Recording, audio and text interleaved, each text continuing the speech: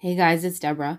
So today I want to do a little quick Bible study with you guys on Second Thessalonians, um, where it talks about where Paul talks about not worrying about that you've missed the the rapture, the gathering together, and the day of the Lord. He talks to the Thessalonians and calms them down and said, like, I want to tell you, don't worry, you haven't missed the gathering together and the day of the Lord. And so I want to go over that with you because it can be really difficult to understand.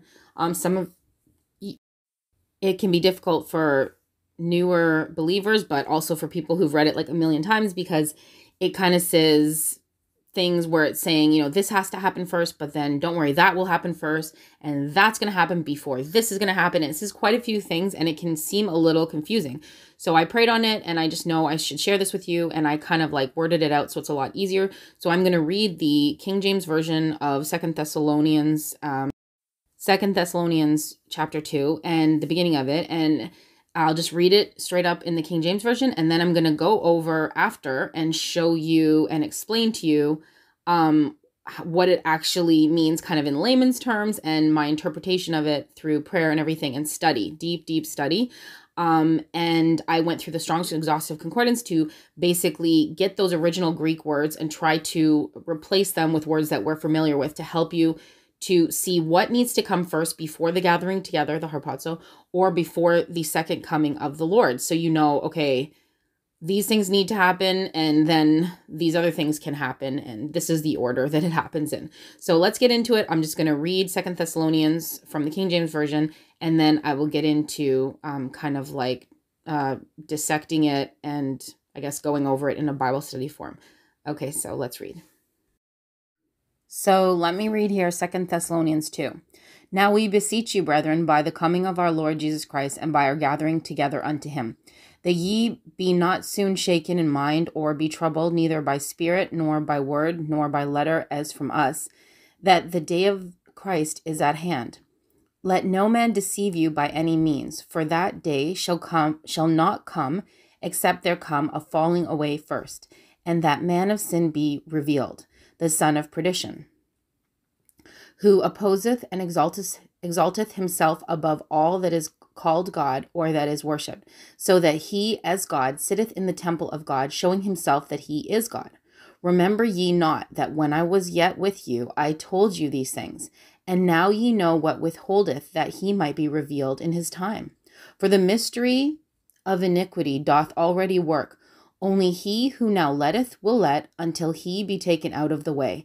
And then shall that wicked be revealed, whom the Lord shall consume with the spirit of his mouth and shall destroy with the brightness of his coming. Um, so yes, I think that's where we're gonna end. Um, as you see, I read it and uh it could leave you saying, huh, what? It's very twisty, I will say, because it's like this has to happen, but this has to happen first. But remember, I told you this won't happen until that happens. And it can feel like it contradicts itself and it can feel like it's kind of twisted. Tw- not, that sounds bad, twisting. Like, um, I don't know how to really say it. Not twisting, but just it's kind of all over the place when it comes to the wording, but it's perfect and it's fine and it's great. It's just, it can feel that way. When I first read it, I was like, okay, okay, so this has to happen first. No, wait, that has to happen first. It says, this will not come except there's a falling away first. But wait a minute, it says, remember not when I was with you, I told you, you know what withholds? It's the mystery.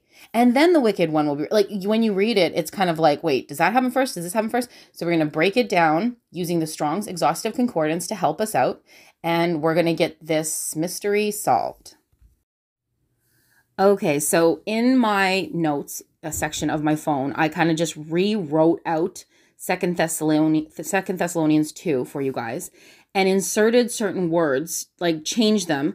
Um, I'm not trying to add or take away from the Bible, but I'm just trying to help explain so that it doesn't seem so um confusing i guess you could say. Um so what it says is fine. It's just it can seem sometimes like like i said before you know this thing has to happen before that thing but that thing can't happen until this thing. And you're kind of like wait what? Did it say that or did it say that? So i'm going to read it to you in a way that i feel hopefully it is you know directed of the lord. And i use the strong's exhaustive concordance which has its own errors as well but I use that mixed with kind of like other things to kind of get to the point that I'm at to just relay this to you guys. So if you can read Greek, then you'd be in a good place, if or ancient Greek probably, because then you could. Uh, it would just seem a lot more clear. But because we most of us don't, um, I did it this way. So I'm going to read it to you guys and hopefully you'll understand Second Thessalonians better.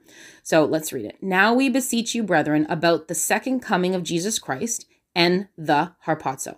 So if you notice, the original version is going to say something different. In the King James, it says, Now we beseech you, brethren, about, I believe it says, the day of the Lord and our gathering together. So see how he says end? If the day of the Lord and the gathering together is the same day, I'm pretty sure he there would be no reason to say it. He just say about the day of the Lord or about our gathering together. Um, I've I'm there. I've gone into it like a billion times about you know pre-tribulation rapture, the great multitude, all these different things. So we're not even going to go there for post-tribbers. Like this is probably not even for you, but hopefully you learned something anyway. But um, let's just read it and hopefully this will make sense. So now we beseech you, brethren, about the second coming of Jesus Christ and the harpazo, that ye not soon be shaken in mind or troubled, neither by spirit, nor by word, nor by letter, as from us, that the second coming is presently soon at hand. He's like, don't be worried, it's not soon at hand, at his time. Let no man deceive you by any means, for the second coming, the reason I have to keep writing this, because if I say the rapture or the gathering together or the harpazo, because he keeps using the day of the Lord here, he doesn't say our gathering together He's talking about the, the day of the Lord, which would be the second coming, how I interpret it. So it's important that I say this because it helps you to know what needs to come first. Let no man deceive you by any means, for the second coming of Christ shall not come except there come. Now he says a falling away first. I inserted here a harpazo, a physical departure, possibly, or a spiritual departure. We're going to get into that in more detail. So, what he's saying is before the day of the Lord, either a physical or a spiritual departure has to happen first. Let's keep going on because we'll come back to that. And the Antichrist be revealed, the son of perdition. So, that has to happen before the second coming, not before the rapture. The Antichrist has to be revealed before the second coming, the day of the Lord. The son of perdition, who opposeth and exalteth himself above all that is called God or that is worship, so that he, as God, sitteth in the temple of God, showing himself that he is God. And now ye know what withholdeth that the Antichrist be revealed. So he's going to tell you now. He's going to say, now you're going to know what's holding back that man from being revealed. It's going to be a physical and or spiritual departure. A falling away has to happen for this guy to be revealed that he might be revealed in his time. For the Antichrist spirit is already at work. Only the restrainer will restrain. Now I change that word. It says, only he who now letteth will let. That's very deep. When you go into um, Strong's Exhaustive Concordance, it doesn't even say only he who le- will letteth will let. I had to do a lot of digging and other things, but it ended. It ends up coming to the terms of only something restraining will restrain until it is taken out of the midst, until he is finished and taken out of the midst. I've done so much digging to understand and to really dig deep into the Greek. And this is the wording that I come up with. For the Antichrist spirit is already at work, only the restrainer will restrain. And it actually is that word for restrain and restrainer until he's finished and taken out of the midst. So the words, if you go into the Strong's and Concordance, it will not say only he who now letteth will let until he's taken out of the way. It's nothing like that. Now, I don't say you have to go into that, but all I'm trying to do is get to the bottom of the truth of the matter. And trust me, I went through it with a fine tooth comb, and this wording fits the, the best when it comes to the original Greek. And then the ant, and now you can say who's the restrainer. We can get into that after, um, but let's just read through this and read through my notes, and then we can come back to things. And then the Antichrist will be revealed, whom the Lord shall consume with the spirit of his mouth and shall destroy with the brightness of his coming.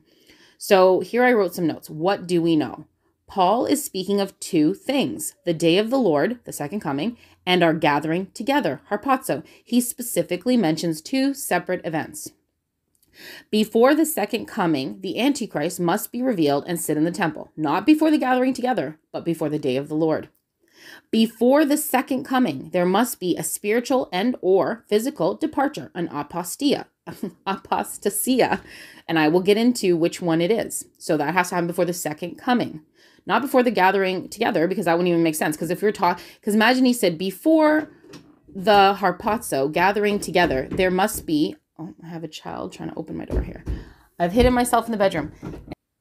I had a little interruption there, so I got a little bit sidetracked. Hopefully, I'm coming back to you from that same place, but before the second coming, it would make no sense if it said before the rapture, there must be a, a departure, another fall, uh, um, an apostasia, which means uh, departure. And that if that means a rapture how could it say before the gathering together there must be a ra- must be a rapture? That wouldn't make any sense. This makes a lot of sense to say before the second coming because he said the day of the lord there must be a now we'll get into the bottom of which kind of departure but let's just say a physical departure which would be the harpazo that would make sense so before the second coming before the antichrist is revealed he who restrains must be finished and taken out of the midst that pairs well with a physical departure so it makes more sense that way than, okay, there's just gonna be a falling away. Like a lot of people aren't gonna believe in the faith anymore. So, um, yeah, I said again, it's very tricky if you go into that verse when it says, He who restrains, uh, he who letteth will now let. If you go into the Strong's Concordance, it's absolutely hard to understand. But I had to go dig deeper and I found out the word restrains is the word I'm looking at and taken out of the midst, which still all fits right. He's taken out of the way. So let's keep going. What does Paul not say? Paul doesn't say that the Antichrist must be revealed before the departure or harpazo. He does not say that. He must be revealed only before the second coming, and he will sit in the temple declaring himself as God. Here's the conclusion three events must happen in this order. One, a departure, whether it be spiritual or physical, that must happen first. Two, a restrainer is removed to allow the Antichrist to be revealed.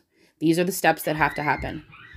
Three, the Antichrist will be revealed and he will sit in the temple. So, first, there's some sort of departure, a restrainer is removed from the midst, and then you have the Antichrist sitting in the temple and re- being revealed as who he is. And then, fourth, the last thing is the second coming, the day of the Lord. Okay, so here's the word that I said I'd come back and talk about a falling away, apostasia. We know that there's an order of events that have to take place. Um, as I said in my conclusion, that first there has to be a, a falling away, then there has to be the restrainer removed from the midst, and then the Antichrist will be revealed, and then you have the second coming. What is this falling away? Is it just a falling away from the faith, like many have taught, like just, oh, young Christians have left the church, or whatever you want to say? Or is it something different? So this is the word at hand, apostasia, 646, um, and it means, it says here, a defection, apostasy, a revolt. So basically, Strong's is, is basically saying like, oh, it's a bunch of people are leaving the church. It's a revolt, okay? So here's the thing. Strong's Concordance has errors. I, okay, it has errors. I know it does.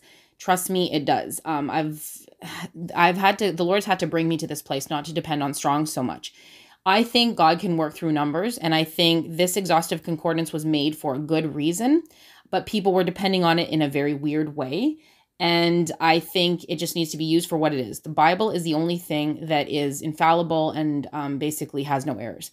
Strong's does. It was made by a man. so here you see here, it's basically sounding like a falling away from the faith. But you can see a little bit lower that it's derived from two words apo and stasis. Well, actually, here it doesn't say stasis. Hold on. It says apo and um, histemi, histemi, stand. Okay, so I'm going to read you something that actually says it's from apo and stasis, which sounds more plausible because apostasia.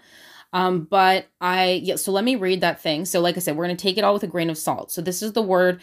And in some ways, you're thinking, okay, it, it says in a de- desertion, or it sounds like leaving from previous standing. I mean, it just kind of sounds like, okay, this person, these people have just, first, what has to happen is people leaving like the church buildings or something like that. So, let me read this article and I'll give you a better understanding of what I believe the word apostasia means in the ancient Greek.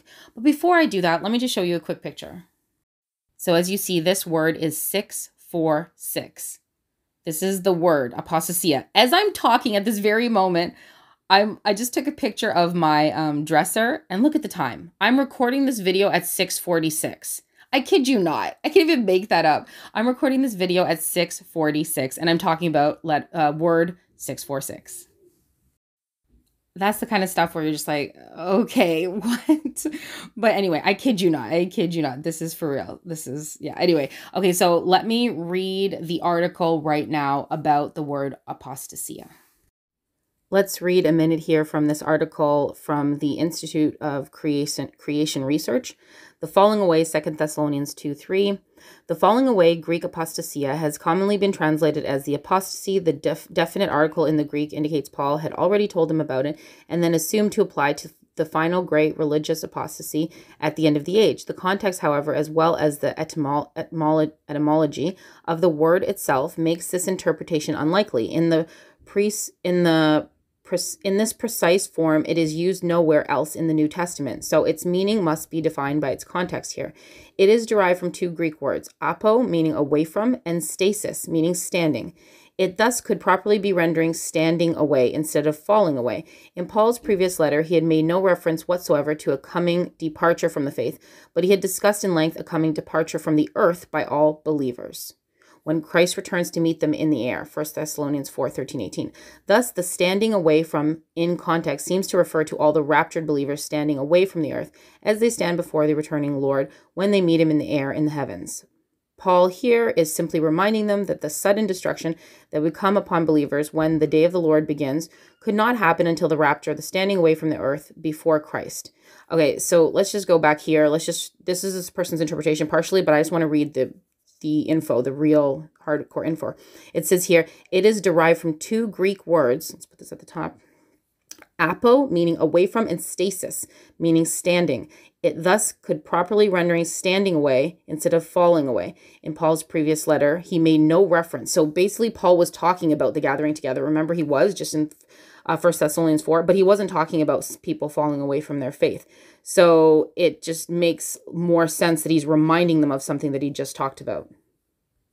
So personally, I lean towards it means a departure I've heard other people say they've discussed this with Greek people and it more means that. So um, it kind of leans toward Paul is trying to say a falling away has to come first, as in departure, more than it means they're going to leave their faith. Um, now it's so funny because I was supposed to make this video. I kept feeling like I was supposed to make this video explaining Second Thessalonians, and then my friend, my neighbor, actually texted me something that was with regards to actually people falling away in the end times and talking about that that will be a sign of the end.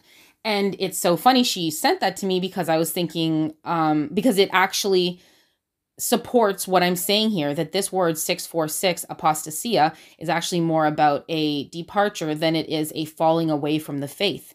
Um, and that being said, I'm just going to read you the little verse that she sent me. She sent it for other reasons, and that's going to be my next video, most likely.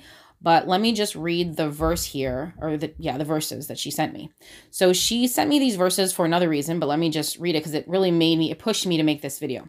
So First Timothy 4, 1 to 6. Now the Spirit expressly says that in latter times some will depart from the faith by devoting themselves to deceitful spirits and teaching teachings of demons. So he goes into that people are going to depart from the faith in the latter days.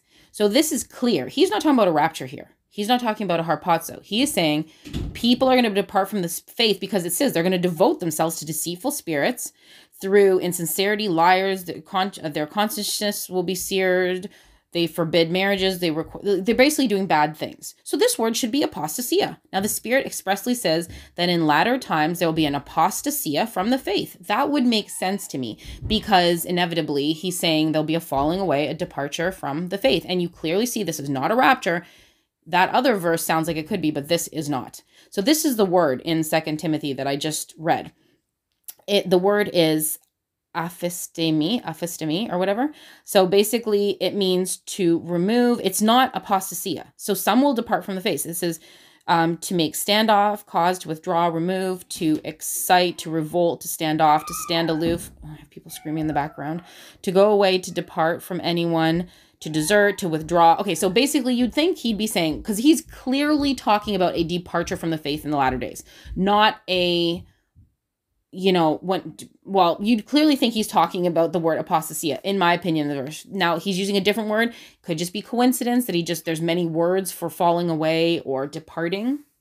Personally, I found it interesting that I had put in my notes in my phone all this whole thing, this whole video that I wanted to explain to you guys, and I felt like I was really supposed to explain it.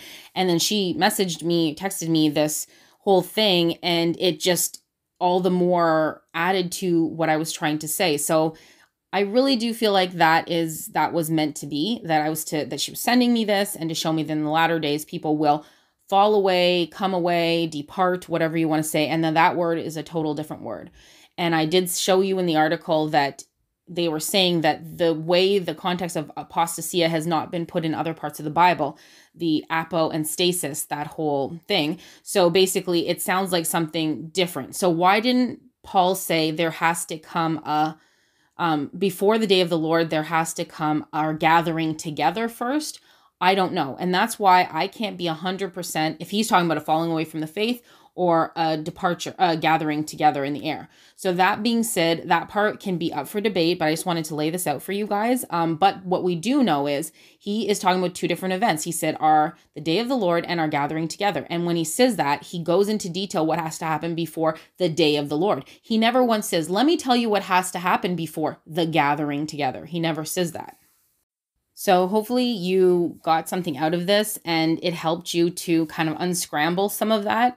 So, even if you don't want to believe apostasia means a departure, you still know that it does not say the Antichrist has to be revealed before our gathering together. I truly believe it seems that these are two separate events the gathering together and the day of the Lord, and how he breaks them up. And then he consistently says, This has to happen before the day of the Lord. This has to happen before the day of the Lord, not our gathering together.